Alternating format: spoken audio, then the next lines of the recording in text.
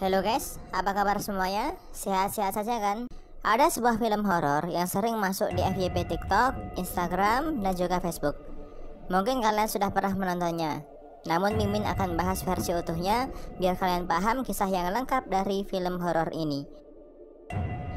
Film ini berjudul Hong Kong Ghost Story yang dirilis tahun 2011 silam, dibintangi oleh Jennifer Stay sebagai tokoh utama.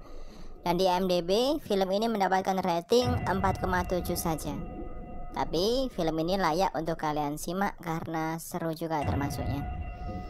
Seperti biasa, sebelum kita mulai, Mimin ingatkan bahwa video ini merupakan full spoiler content.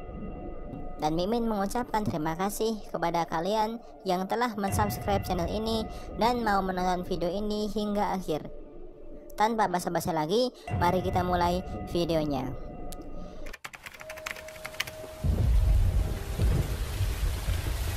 Film ini diawali dengan seorang laki-laki yang sedang mengunjungi sebuah makam.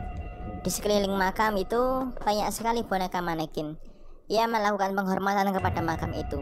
Sepertinya itu adalah makam seorang sutradara terkenal. Kemudian laki-laki itu segera pergi setelah selesai.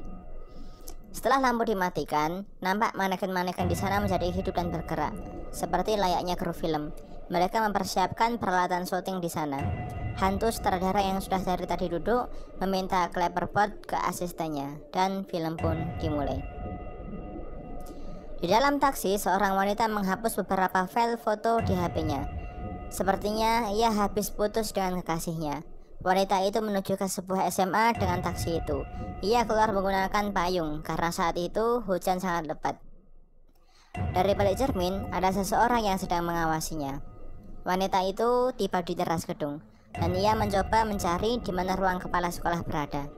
Saat hujan sudah reda, ia mencoba bertanya ke seorang siswi yang sedang bermain basket sendirian. Gadis itu bernama Dondon. Ia meminta Dondon untuk mengantarkannya ke ruang kepala sekolah. Wanita itu memperkenalkan dirinya. Sebenarnya, dia adalah guru pengganti, dan ia bernama Ibu Jennifer Yip. Setelah ini, tokoh utama kadang Mimin panggil Ibu Yip dan kadang Mimin panggil Jennifer ya. Singkatnya, setelah mereka sampai, Ibu Yip mengucapkan terima kasih ke Dondon dan Ibu Yip memasuki ruangan itu. Di sana, ia bertemu Ibu Kong dan Ibu Kepala Sekolah. Bu Kapsep menjelaskan bahwa Ibu Yip akan mengambil alih pelajaran sejarah karena guru yang bertugas sedang pergi dan Ibu Yip akan mengajar kelas sore. Sin berganti di sebuah jembatan penyeberangan. Jennifer menaiki jembatan itu dan di atas ada mantan kekasihnya yang bernama Chung. Chung menyetop Jennifer dan meminta untuk balikan. Akan tetapi ia tidak mau karena memang sebelumnya Chung suka bertindak kekerasan kepadanya. Akhirnya ayah Jennifer menyelamatkan putrinya. Dan di rumah ibu Jennifer menasihatinya. Dulu gara-gara Chung ia tidak bisa mengajar selama tiga tahun. Chung menjadi seperti itu gara-gara sering mabuk dan ayah Jennifer memintanya untuk tidak takut dan tidak segan apabila Chung menyetopnya lagi di jalan. Di pagi harinya, Ibu Yip datang ke kantor lagi. Karena di kantor sepi, ia mendapatkan pesan tertulis dari Ibu Kong bahwa di hari pertamanya, Ibu Yip sedikit mengajar dulu saja agar ia bisa beradaptasi. Dan tempat mengajar Ibu Yip adalah kelas F4E. Bukang memperingatkan juga bahwa anak-anak di sana sedikit nakal, jadi agar ia berhati-hati. Ibu Yip berjalan menuju tempatnya mengajar. Ia mencari-cari di mana kelas F4E berada namun tak kunjung ketemu. Di atas tangga, ia berjumpa lagi dengan Dondon, dan Dondon menunjukkannya ke kelas itu. Saat masuk kelas, anak-anak bermain-main sendiri. Ada yang duduk di atas meja, ada yang berantem, dan lain-lain. Bahkan saat Ibu Yip mulai pelajaran, anak-anak itu tidak memperhatikannya. Dasar gak ada alat. Beberapa murid mengucapkan kata-kata yang menyinggung Ibu Yip, dan yang laki-laki bahkan ada yang menggodanya. Karena pelajaran sudah selesai, Ibu Yip kembali ke kantor. Di sana, ia berjumpa dengan Ibu Kong. Saat pulang sekolah, Ibu Yip melihat beberapa muridnya di tempat yang ramai. Ibu Yip membuntuti mereka. Anak-anak itu ternyata sedang berada di sebuah kafe. Di sana, mereka akan disewakan ke om-om itu, dan om-om itu berani membayar mahal. Ibu Yip segera memergoki mereka. Karena kaget, mereka segera lari dari tempat itu. Namun ibunya berhasil menangkap satu darinya yang bernama Carol. Ibu Yip mungkin menerima perlakuan anak-anak itu di kelas kepadanya. Namun, ia tidak rela apabila ada muridnya yang menjual dirinya. Siswi itu tidak mau dinasihati olehnya, bahkan mengancam Ibu Yip, dan Carol pun pergi dari sana. Sin berganti ke dalam kelas lagi. Ibu Yip yang sedang mengajar mencoba bersabar karena murid-muridnya nggak ada akhlak. Di sana ia tidak melihat Dondon dan ia bertanya ke Carol, siswi yang tadi malam ia tangkap bersama Om-Om. Saat Ibu Yip menanyainya, ada dua siswa yang mengancam Ibu Yip. Jangan sampai kejadian semalam dibocorkan. Kalau tidak, Ibu Yip akan tahu akibatnya. Di koridor, Ibu Yip melihat Dandan ke toilet. Namun saat ia mengajarnya ke dalam, ia tidak menjumpainya. Diceknya toilet itu satu persatu. Dan saat ia akan membuka pintunya, pintu itu terkunci. Saat itu juga, lampu tiba-tiba berkedip sendiri. Pintu toilet tertutup dengan keras. Air mulai menyembur. Kipas angin lepas memecahkan kaca dan hampir mengenainya, dan ia melihat darah dari dinding.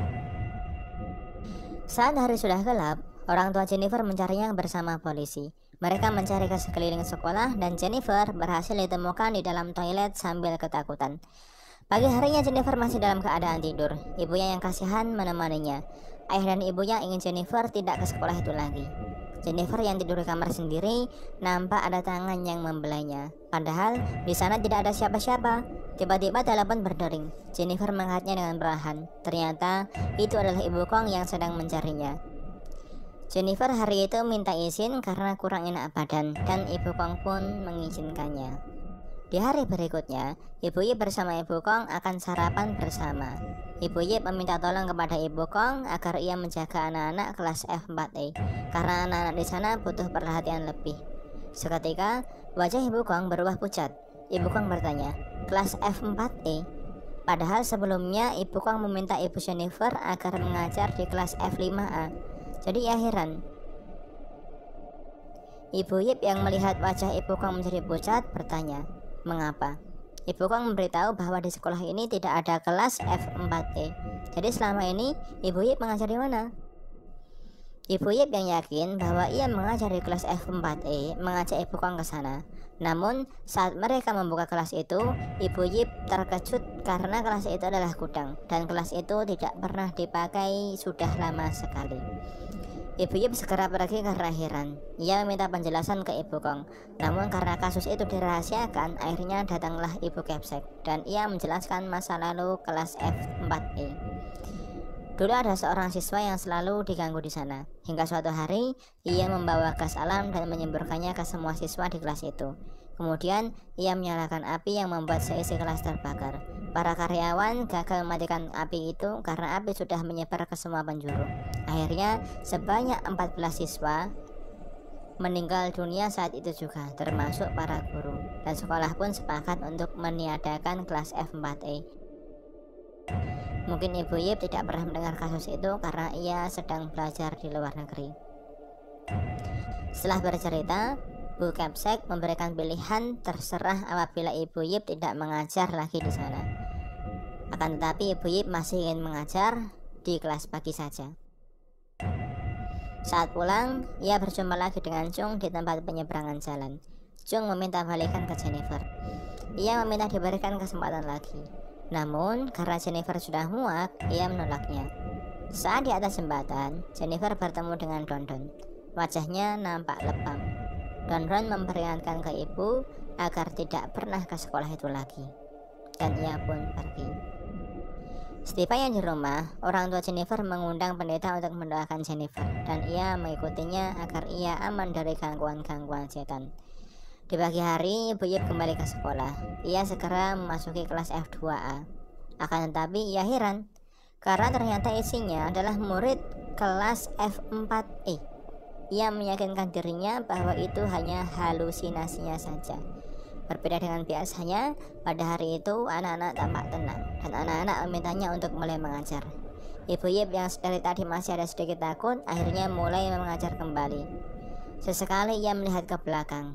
Ada anak yang menunjukkan diri aslinya, ada yang mengeluarkan lidah yang panjang, dan bahkan beberapa ada yang melayang untuk menakut-nakuti Ibu Yip.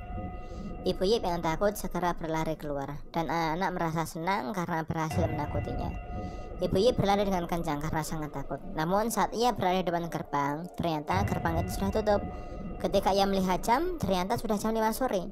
Padahal Ibu Yip tadi berangkat hanya pagi. Dan setelah ia berhasil membuka gerbang itu, ia segera pulang. Setelah turun dari bis, Ibu Yip melihat Dondon di tangga. Ia segera menghampirinya dan bertanya, Kenapa kelas F4E sangat aneh? Apakah kamu manusia atau bukan?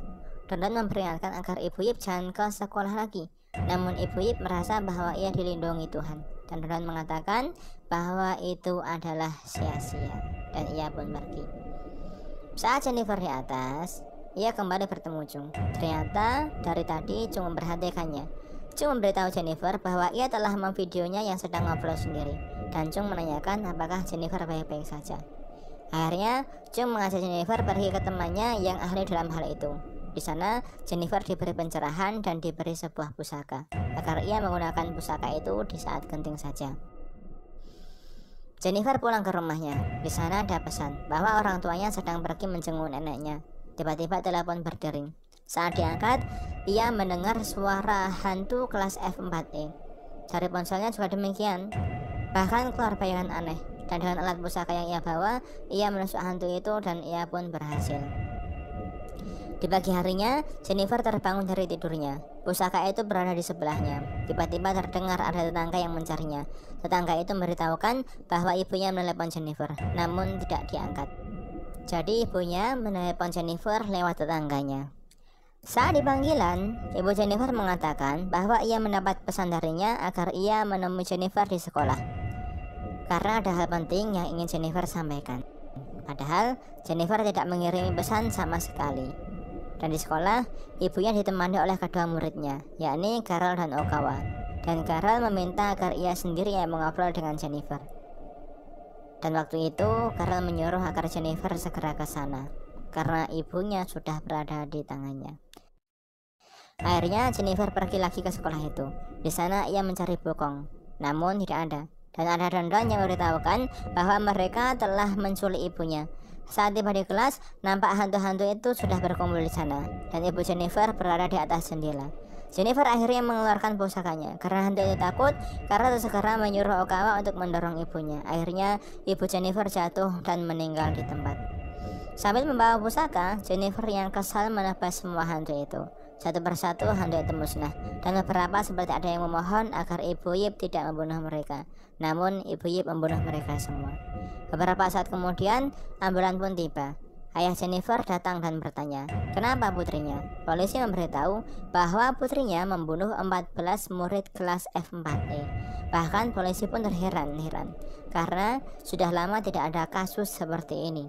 Jennifer dari tadi berkuman bahwa mereka telah membunuh ibunya. Padahal ibunya masih sehat bersama ayahnya dan kepala sekolah pun datang. Ada yang merasa aneh?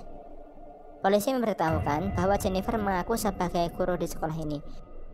Namun, kepala sekolah tidak merasa memiliki guru yang bernama Jennifer. Jennifer menyangka bahwa laki-laki itu bukanlah kepala sekolah. Ia berkata bahwa kepala sekolah sebelumnya memberitahunya ada 14 murid dari kelas F4E yang meninggal. Dan asistennya mengatakan hal itu terjadi 20 tahun yang lalu. Kepala sekolah itu mengatakan bahwa untuk mengenang orang-orang yang meninggal, ia masang memorial di sana. Namun ia menutupnya. Jennifer yang melihat foto itu berkata bahwa mereka lah yang melakukannya. Polisi membawa barang bukti berupa upeng. Saat ditanya siapa yang memberinya, Jennifer menjawab bahwa itu adalah pemberian Chung dan masternya. Dan kisah pertama pun selesai, ditutup oleh hantu star Al tadi yang telah selesai memainkan film ini. Gimana filmnya? Seru kan? Awalnya memang terlihat biasa-biasa saja, namun di endingnya kita disuguhkan dengan plot twist yang menarik. Jennifer yang lemah iman dipermainkan oleh hantu-hantu yang mengakunya. Pelajaran yang dapat diambil, jangan sampai Anda lemah iman dan suka berpikiran kosong atau Anda akan sering dihantui oleh makhluk itu. Mungkin ada yang ingin ditanyakan oleh kalian. Mengapa hantu itu memilih Jennifer dalam hal ini? Ya karena sebenarnya hantu itu hanya iseng-iseng saja dan mereka mendapatkan mangsa yang empuk dan lemah imannya. Akhirnya hantu itu memanfaatkannya. Ke mana para guru dan kepala sekolah yang asli? Jennifer masuk kelas sore. Jadi guru-guru dan kepala sekolah sudah pulang semua. Apalagi Jennifer diberi ilusi oleh mereka. sehingga semakin ia tidak menemukan guru yang lain. Dari mana obeng yang ditemukan polisi sebagai barang bukti? Sebenarnya, pusaka yang selama ini diberikan Chung tadi adalah obeng itu. Dan dua hari sebelum obeng itu diberikan oleh hantu Chung kepada Jennifer, Chung sudah bunuh diri dengan menusukkan obeng itu ke lehernya. Sebenarnya ada sedikit kesalahan dalam film ini sih, tapi nggak apa-apa juga sih. Ya ini korban yang tewas di kelas F4E sampai 14 bersama gurunya. Padahal di foto akhir film, sejumlah 18 ditambah dua orang guru. Itu saja yang ingin Mimin sampaikan. Jangan lupa untuk subscribe dan nyalakan tombol loncengnya agar tidak tertinggal video terbaru.